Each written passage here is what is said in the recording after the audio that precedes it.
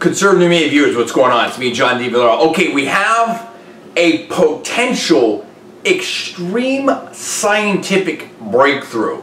Researchers from the Chinese University of Fudan in Shanghai have basically, I believe, formulated a theory. I don't think we've seen this in a prototype and tested out yet. I believe this is a theory here, but they've formulated a theory and they've, they've, they've determined, they believe, that if you turn a laser beam inside out, it can create a, a, a beam that sort of acts like a tractor beam to pull something towards you. Now again, this is just on a very, very small level. We're talking about nanoscopic types of levels here. And basically what it does is it uses the you know photons and uh, the way that they behave to pull an object towards you.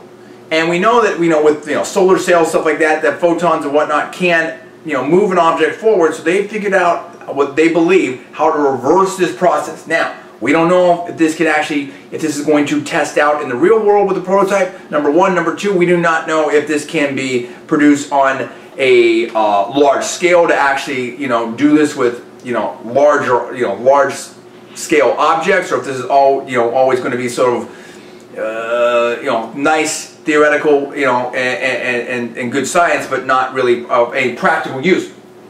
All very new information here. And yet at the same time, it seems to be a potential extreme breakthrough. This is like alien type technology. This is the kind of stuff that science fiction movies are made of. Are we now on the breakthrough of some incredible advancements that are going to change the way that we live and think about stuff? Is science fiction about to become science reality? We've linked to the articles down there below. Check it out. You tell me what you think. Comments below, subscribe above. I'm John D. Villarreal and you're watching Conservative New Media.